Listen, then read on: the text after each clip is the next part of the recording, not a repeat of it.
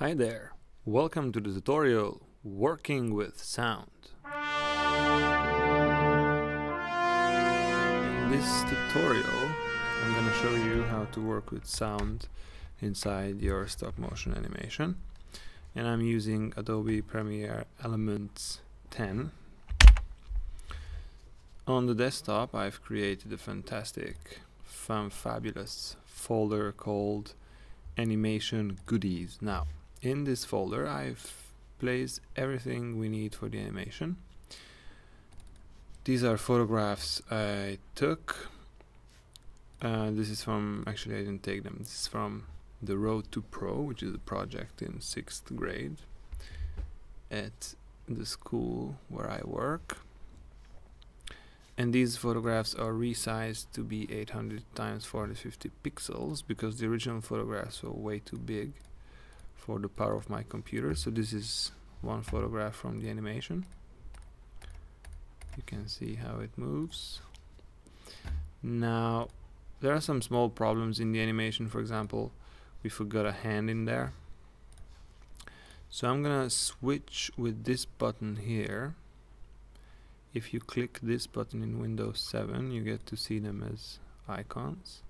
So I'm gonna just visually run through and delete all the instances when the hand is left in there. Because we want to see the puppets not the hand. So that's it. And then I have in this folder some voice dialogue recordings and I have a different sound files. Now the sound files are from freesound.org where I have my account. And if you're looking for sounds you just type here what you're looking for. So let's say I'm looking for the sound of a punch. And this gives me different options. Let's say I like the sound of this punch so I'm gonna download it. Now I need the type of file which is WHV wave. So I'm gonna download the wave file because this is a file that my software likes. So once I downloaded this file I have to save it somewhere. Now my browser downloaded it somewhere.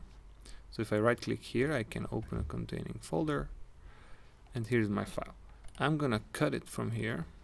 Right click cut or control X. And I'm gonna find on my desktop the animation goodies folder and I'm gonna paste right click paste that sound. So now it's here. This is the sound I'm gonna use in the animation together with different voice recordings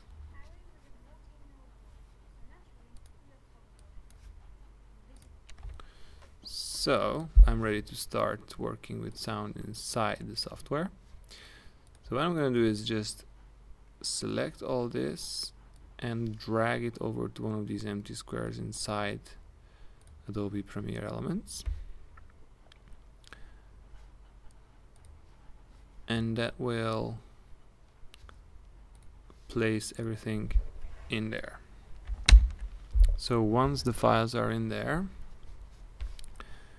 I'm gonna go to this folder first double click it. Then I'm gonna click control A. So you see they become a different shade of gray. Control A.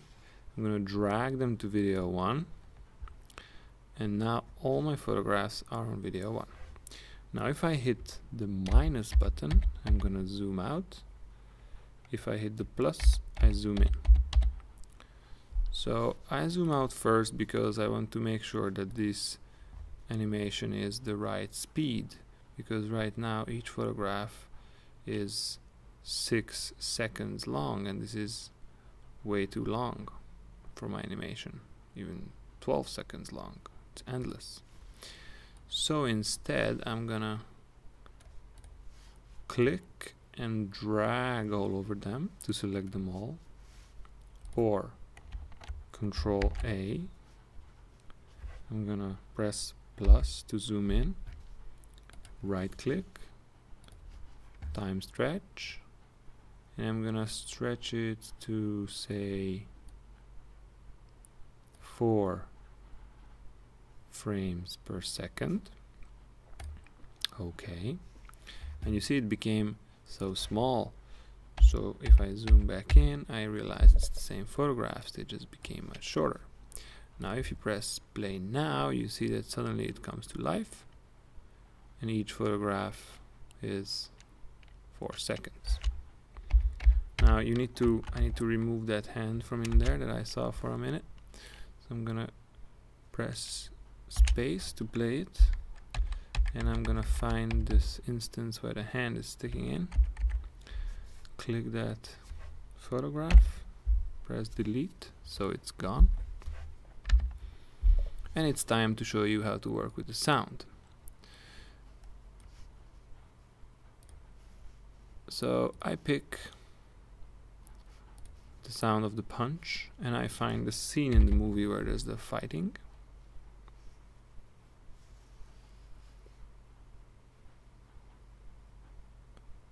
let's say we imagine that there's gonna be a punch here.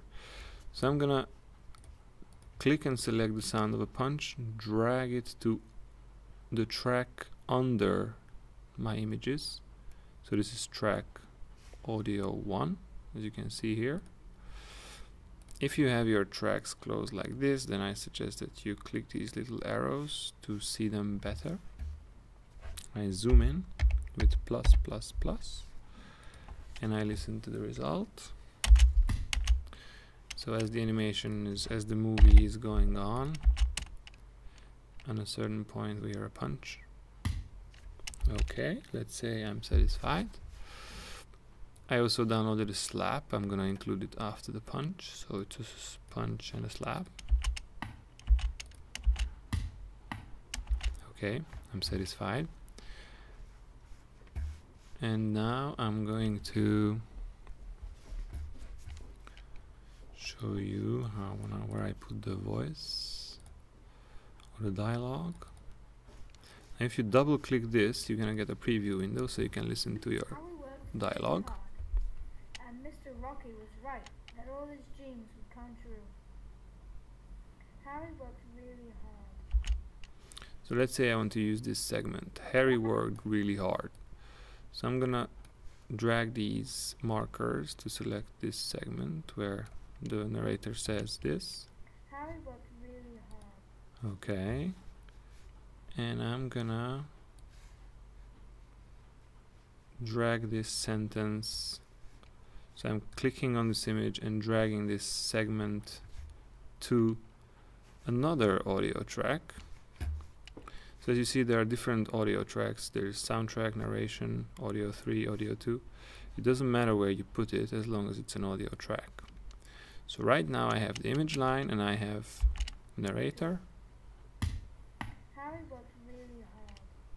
and the text at the same time.